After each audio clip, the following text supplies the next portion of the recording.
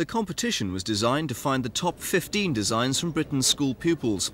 In the under 15 category, Davida Bates from Mill Hill High in Edgware has already applied for a provisional patent for her apron, doubling as an oven glove. Simon McCann, who's 15 and from Barnet, also won praise for his car alarm, devised after his father flattened his battery by leaving the lights on.